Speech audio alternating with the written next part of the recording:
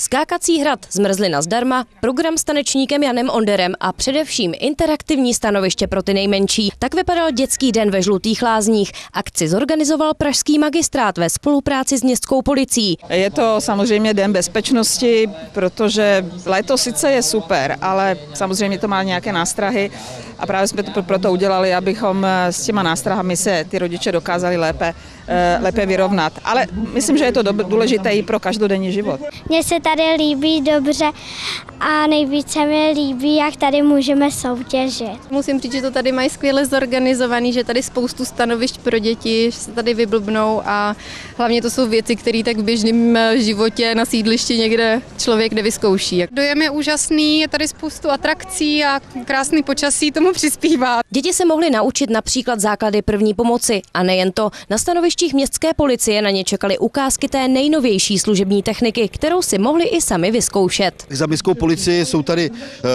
e, takzvaná 156, to jsou vlastně e, strážníci, kteří jezdí na ty telefonáty, když se něco děje, rychle aby tam byli. Je tady městská policie z lodí. A bohatý program nabídl ve Žlutých lázních i hasičský záchranný sbor hlavního města Prahy.